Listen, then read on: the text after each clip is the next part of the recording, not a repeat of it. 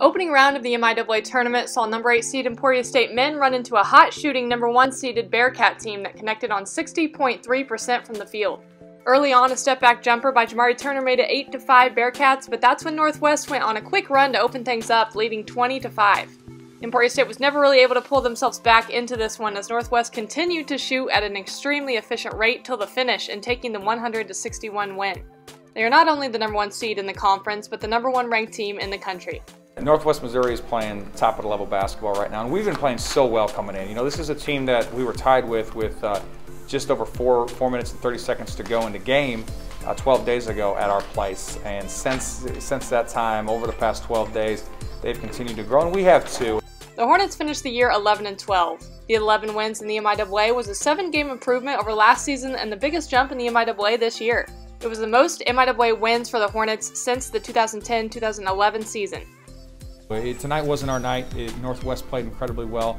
So credit to them, and we're going to continue to focus on the positive things, the growth that we had within this season.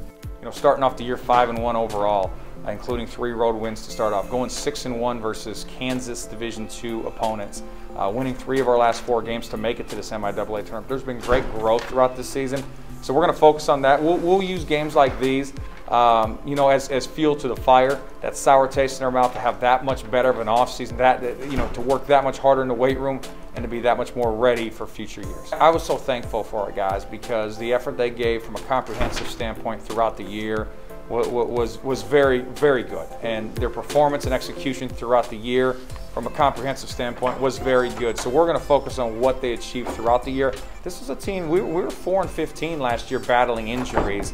This year we battled almost the same amount of injuries, but we didn't fold. We stayed together. We made the MIAA tournament despite them cutting it down to eight teams. And, uh, and our guys competed and, uh, and they deserved uh, an opportunity to be here. We didn't play as well as we wanted to, uh, but we're going to continue to focus on all those positives and, and, and grow the program from there.